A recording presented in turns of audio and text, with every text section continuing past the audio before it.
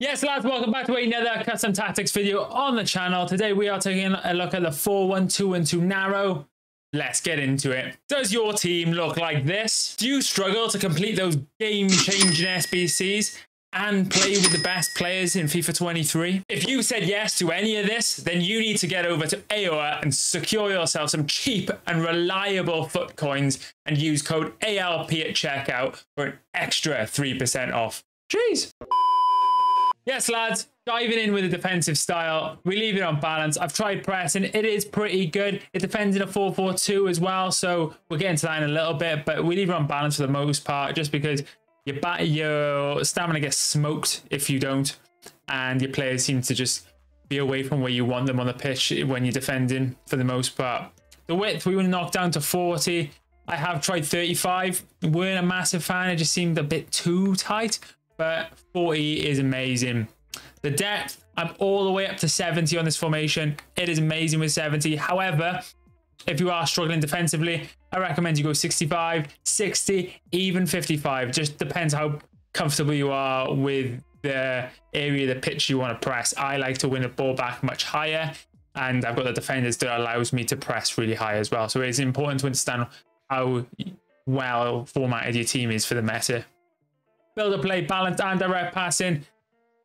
I don't really recommend going for anything else. I've had a few questions in the comments about things like long ball and um, you know long ball, um, fast build up and things like that. But to be honest, I just leave it on balance. It gives you the best of both worlds, and yeah, it's amazing. And then direct passing, nothing comes close. So definitely lob that on. The width, we do play 50 as we do with most of our formations. The, the, the formation itself um, is nice going forward. We do create some extra width with one of the fullbacks, which is important. Players in the box, six. A lot of my formations have six. It helps that one central midfielder that we are going to send forward get involved with a play, which is important. Corners, we are one. And free kicks, we whack on one also. This just means we're not getting caught on the counter attacks, and you know, there's nothing more annoying this year. I hate being caught on the counter attacks, especially if you got like something that should benefit you, like a corner or a free kick. The last thing you want is to concede a goal off the back of that. So one on one for that, and you have control over your players anyways. Most people pass it short, so there's no point in over committing. Instructions, the most important part of this formation. Before we get into it though, if you haven't already, leave a like and subscribe to the channel if you haven't already. Really does help the channel grow. And with this video today, we're not going to be doing gameplay for a change. I am going to jump straight into my rank one rewards from the Community Tots Weekend League. So I hope you enjoy that and leave it in the comments if you'd like to see more of the rank one rewards as they come in. They, they are on the shorts feed, but if you want to incorporate it in the videos, let me know. But anyways, enough waffle. Let's dive into the custom tactics. Both strikers are stay central, getting behind bread and butter is amazing on your strikers. Al-Owairan and Mbappe are probably the two best forwards in the game at it, other than like your R9s and things like that. But you know what I mean? 99 pace, and pretty much Mbappe feels like 99 pace, so can't go wrong. Cam, it's important that you have come back on defense because it's going to make up part of your four-man midfield when you're defending. Um, so he's going to fall apart of your 4-4-2. Where he goes depends on how we set up the midfield, uh, the midfield three. So we'll get into that now. Then get into the box crosses. It just means he's in the he's in the box. You've got more passing options when your midfielders are moving up the pitch. When your fullbacks moving up the pitch, he's going to be an option. Usually on the 18, um, Mbappe and Al-Owairan tend to be a bit further forward, but he will be an additional option in the box, which is going to give you a lot more opportunities to score. More bodies in the box, more opportunities to score. So getting into the midfield, when we're defending, we have two players stay central. So they're going to go almost in front of Sergio Ramos and Lucio. This is Jude Bellingham and Vieira.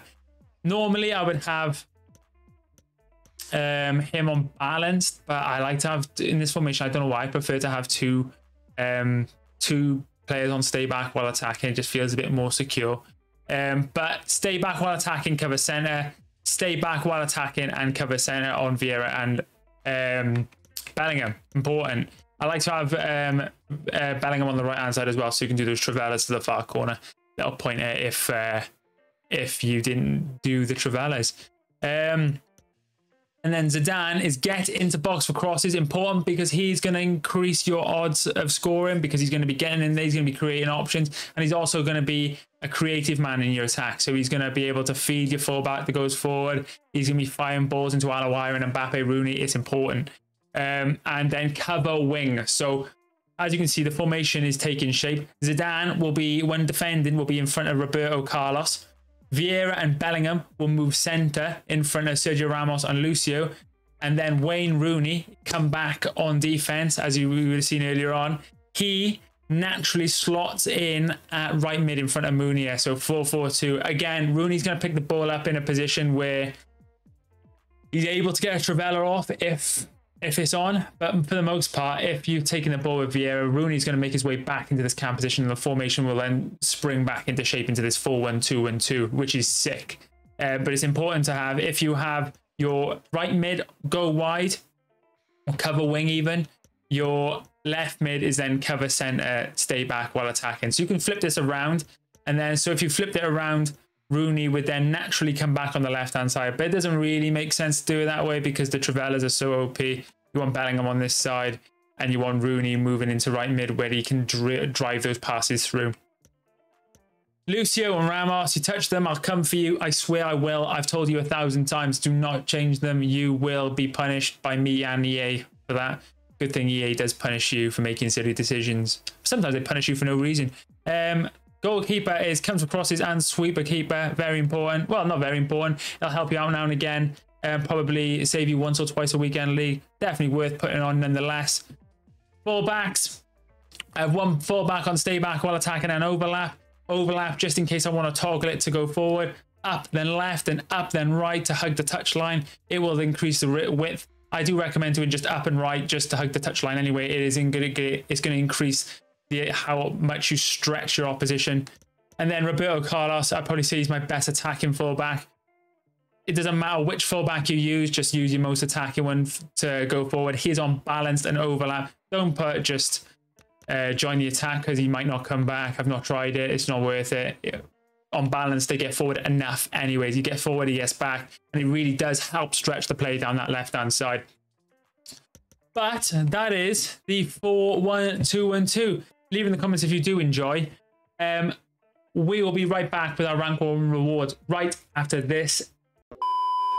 Yes, lads, rank one reward secured. The weekend was pretty straightforward. We didn't really get too many games where we thought it was a we were going to lose. We had one where we just kept on in the bar, and that's the one we did last. So 19 and 1. Rank 1. We're going to see what we get in these player picks. 684 plus and 85 plus player picks. Let's get into it. All one of four from rank 1. Let's go. We get an 88 team of the season in the first one, which is good. One of four again. Just give me a big... Oh, two in there. We get uh, Geertruida, which is sick. 91. He looks fairly sick. I want to see Xavi Simons ideally. There's another one in there as well. David De Gea, decent pull that. Um, so we've had all team of the season so far. One another last one of four. We get an 87. That's not bad. That's from rank one. Another 285 plus one of threes. We get an 86 in the first one, which is very bad. And the last one we get an 88 Ter Stegen, which isn't bad fodder. So great fodder there. One of five community team of the season player picks from rank one. Let's go. Leave in the comments who you get from these picks. We get one of five. These are. We get De Gea in the first one, not the best.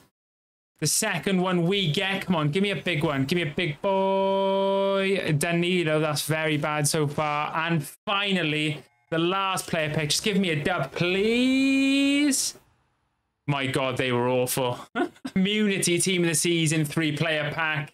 What do we get? Leave in the comments what you got if you did get this pack. We get Brazil, centre back. It's never going to be anyone sick, is it? I thought it was going to be someone sick for a second. Oh, Thuram. Damn, that'll do. Lovely. Jeez.